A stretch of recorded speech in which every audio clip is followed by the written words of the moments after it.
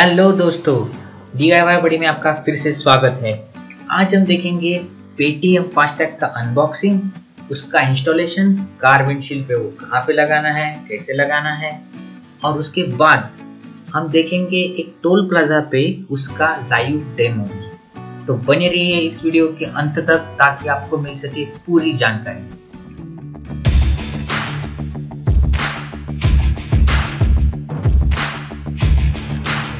तो चलो शुरू करते हैं अनबॉक्सिंग तो 21 नवंबर को मैंने ऑर्डर किया था ऑर्डर प्लेस की थी पेटीएम ऐप से और 5 दिसंबर को मुझे ये डिलीवर हुआ है।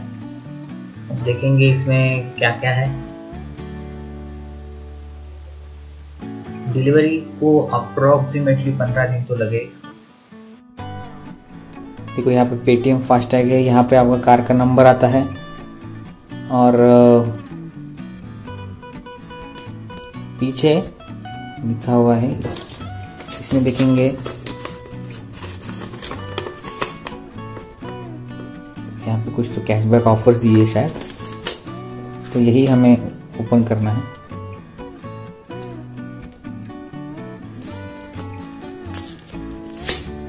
अंदर ही शायद सारी इंफॉर्मेशन होगी। ओके तो फाइनली मिल गया हमें। ये है फास्टैग पेटीएम का। 3M की टेप है तो हमें ऐसे विंडशील्ड पे लगाना होगा ऐसे। ओके, और ये फॉर्म है।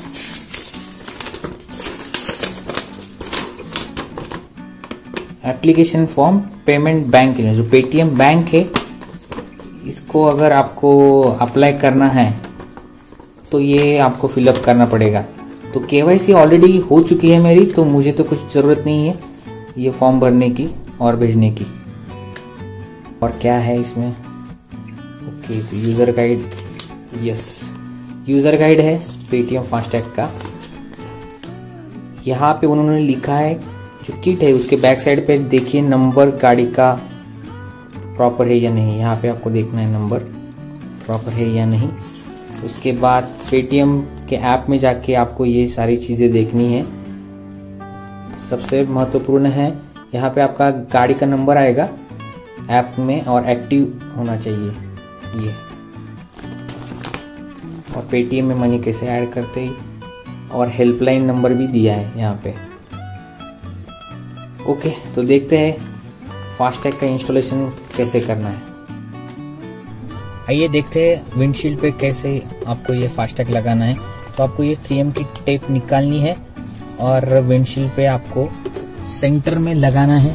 जस्ट ध्यान रखिए, ये जो ब्लैक स्पॉट है, उस पर नहीं लगाना है, नहीं तो रीड आपका नहीं होगा फास्टैग तो जो सेंटर मिरर है, उसके जस्ट उसकी सफ़ाई करनी पड़ेगी थोड़ा।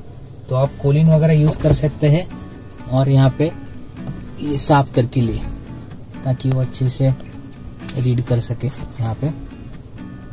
तो आइए, अब हम इसको लगाएँगे, ये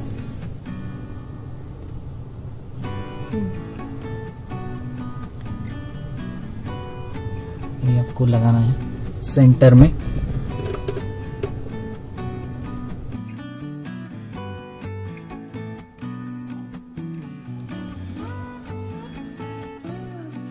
अब हम लाइव डेमो देखेंगे कोल प्लाजा के यहाँ पे आया है। पेटीएम वॉलेट का जो बैलेंस है, वही आपका फास्टैग का बैलेंस है कोई अलग बैलेंस नहीं होगा। हालाँकि आपके फास्टैग में बैलेंस पे बैलेंस में वन फिफ्टी रुपीज़ दिखाएगा, लेकिन वो डिपॉजिट अमाउंट है। तो यहाँ पे आने के बाद हमें कहा गया कि इनसफिशियंट बैलेंस उन्होंने बोला पहले, थोड़ी देर बाद बोला कि नहीं, आपका ट्रांजेक्शन कंप्लीट हुआ है, आप जा सकते हैं। तो वेरी स्मूथ प्रोसेस है एक्चुअली तो आप ज़रूर लगाइए फास्टैग और ज़रूर यूज़ कीजिए।